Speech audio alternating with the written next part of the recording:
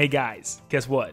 We are now nine days away until Super Mario Bros. Wonder, where yes, we're still talking about this game all the way up until release because it is such an exciting time to be a Mario fan. A brand new 2D Mario game is coming in just nine days with Super Mario Bros. Wonder. And today, we have gotten tons of previews from some of the bigger game outlets that's kind of played more levels and a lot more of the game and got to really get their hands and dig deep. And some of us, myself included, have been able to go into stores like Target and actually play the demo for ourselves. Now, we weren't able to play all the other levels that some of the bigger creators got to play sent in by Nintendo.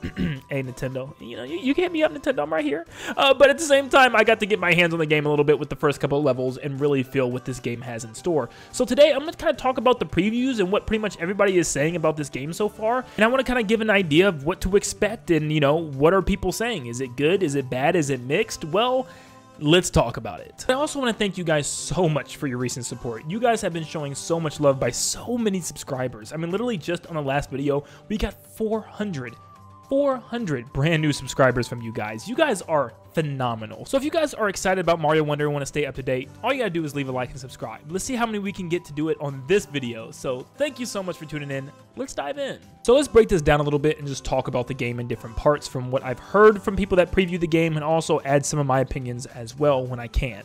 So straight up, we have the movement and the controls. And I can tell you from my own experience, it is the best feeling Mario game. Do you remember when we played Mario Odyssey and how smooth it felt to control Mario? Everything was tight, precise, and it felt perfect to move Mario around in that world. This is that 2D Mario experience that we were looking for to match the 3D one from Odyssey. Now, the new Super Mario Bros. games do have a little bit more lightweight to them. Uh, these are tighter. These are completely tighter with Mario Wonder. Um, it feels like every little thing you do, every action that you press on the controller is perfectly implemented without any lag, without any slipperiness. It is perfect. I mean, this is how you should be able to control a 2D Mario game. There are absolutely no complaints there, and I haven't heard of any complaints from any other creators either. So it looks like Nintendo really nailed this one. Now let's talk about the world. The world is now in the Flower Kingdom, and it looks very, very different. Now, the creators have also said that, you know, this game just feels like all the worlds are like in a dreamland. They feel so different than that of the Mushroom Kingdom. They're themes that we're used to, but switched and changed in weird ways. I mean, just from looking at ourselves from the different trailers and stuff, these worlds and levels look absolutely amazing. I mean, seriously, I still really love that Bowser's Castle themed area where the sky is like this yellow golden fog and you have these golden pipes and weird goo at the bottom. It's such a beautiful location. And we got a couple other ones that were leaked on the Japanese website. Not really leaked, but we're on the website. You can see like an airship themed stage with the sky is this fiery red. Oh, it looks so good. And like a Bowser's Castle themed area. You can see this desert with a purple kind of sky sunset background, which is just beautiful at nighttime. And also this really beautiful kind of purple and blue sky for the snow area. The colors pop. It looks amazing in every area. I mean, seriously, honestly and truthfully, I couldn't think of better themes for a game like this. And that's why it really makes me want to see a Mario Maker 3 with these themes implemented because they're beautiful. Now, I did see a couple of mixed opinions on the items, and I was able to play as obviously Elephant Mario and Drill Mario within that demo, but uh, we get more information from the people that played further in the game already, um, and we can learn about what they had to say. So pretty much a lot of people see Elephant Mario as just a big tank, and they find him to be a lot of fun. I'm a little less excited for Elephant Mario after playing with him. Let me tell you why. So yeah, it just feels like a big Mario like it doesn't really feel elephant. I, I, don't know. Yes, you can squirt water with your trunk, but it doesn't really do much besides some, you know, some effects on the flowers on the ground. And you can, you know, you can water some enemies in order to wake them up. It doesn't even hurt them. It just kind of wakes them up if they're sleeping and makes them react. Uh, so yeah, there's not a whole lot you can do with Elephant Mario, believe it or not, besides just using your trunk and then like pushing heavy things. So yeah, I get it's it's a pretty basic item. You know, it's one of the first ones you get in the game. Uh, but yeah, I didn't see it to be anything anything super crazy. I still love it and I love the way it looks. And I love the fact that it changes the music to like a different theme. Yeah, the Elephant Mario power up actually changes the music for every stage based on that power up. It kind of gives it more of a tuba kind of effect, making it feel like an elephant theme. I can't explain it, but you can probably guess what I'm talking about. I thought drill was really cool. I had to get used to the way it worked because it's so simple. It's just pressing down and then pressing up for the ceiling. It's really, really good. And I love breaking through blocks and stuff and using it to hit enemies above me. But I seen one person complain about the fact that it's only able to be used in specific terrain which is a little bit of a bummer. I thought like all pieces of ground would be able to allow you to go underneath, but that's not the case. I guess there's a lot of different terrains in the game that doesn't let you do this, so obviously it's going to be pretty much a level specific thing. Uh, if that level really wants you to use a drill, it will give you the drill. You taking a drill into a level that's not needed for it, it's not really going to do a whole lot. Fire Flower was also able to be played in the demo. It's very, very you know, simple based on what the Fireflower has always done. There's a cool new animation for it, obviously. Um, but now you can throw fireballs with two hands. It'll go like boom, boom with both hands this time instead of just, you know, the animation of shooting it out of the same hand like Mario normally does. Um, I don't know. I really like the animation. It felt cooler, even though it's pretty much exactly the same. At first, I wasn't super excited for the Bubble Flower, but after watching some extended gameplay, I absolutely think this thing is so neat. So not only can you trap enemies in bubbles and bounce off of them yourselves, but you can blow them through the terrain in order to hit certain switches and, you know, trigger certain things to happen in the world,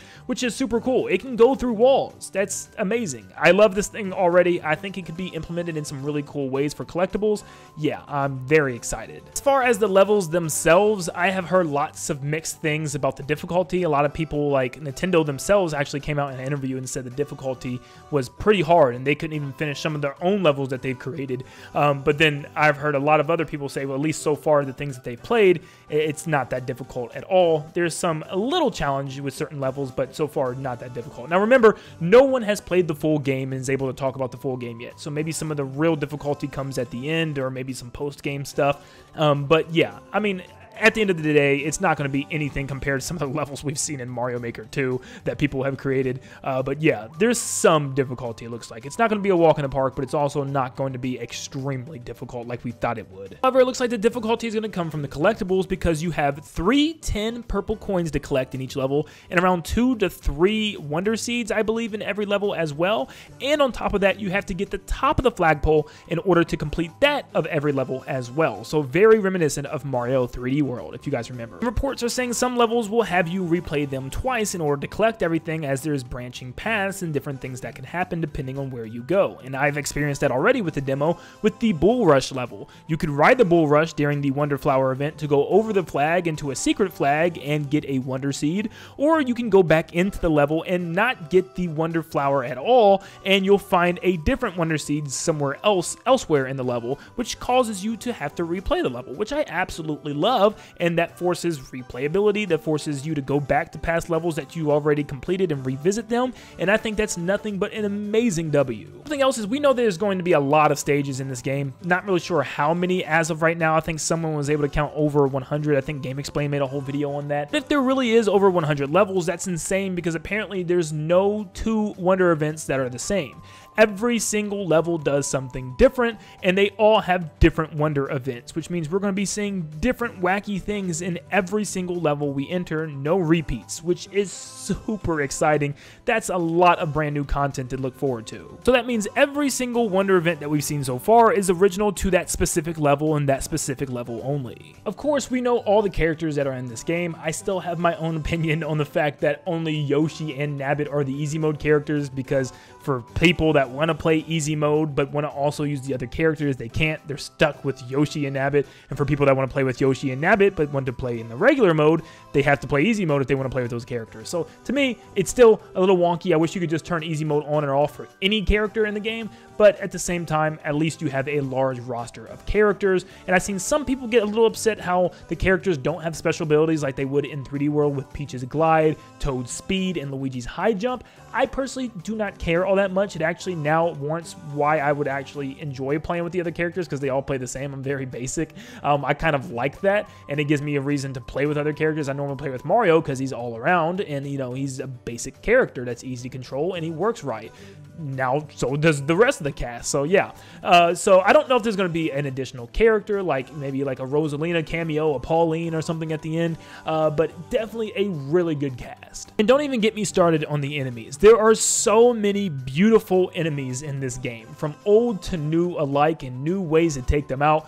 Oh my goodness, I love them so much. There's so many goofy looking ones, and it's just so much variety in this game with the character design and everything. It is it's, nearly perfect. And as of right now, the only thing that we really don't know about is the boss battles. Right now, no one has been able to play any boss battles, even the people that were sent in. Like, there's no information on them, nothing at all. I mean, we don't even know about the Bowser Jr. one that much, besides a couple of clips and a couple of screenshots. Um, and I actually received some more screenshots. These come from Aaron that actually emailed me some of these screenshots. I don't know where they got them from, but there are more fights with Bowser Jr., that same exact boss fight again, where Bowser Jr. gets big and you get small, and vice versa.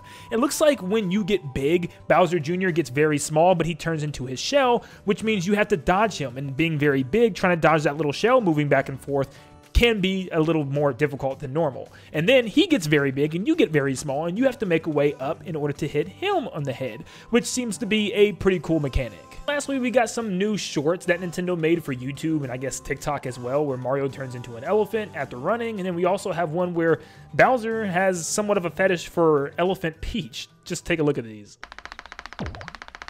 Huh?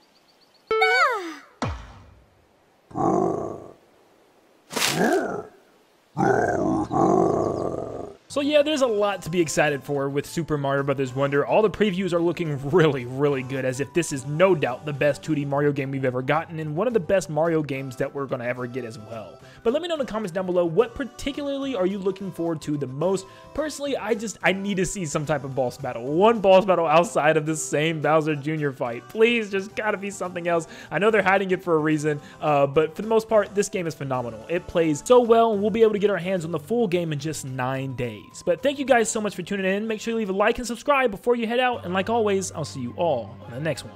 See you guys.